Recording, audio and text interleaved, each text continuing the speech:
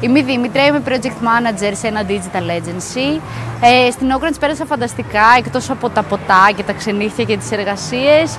Ε, ήταν μια πάρα πολύ ωραία εμπειρία γιατί επιτέλους ανακάλυψα το τι μου αρέσει και τι θέλω να κάνω.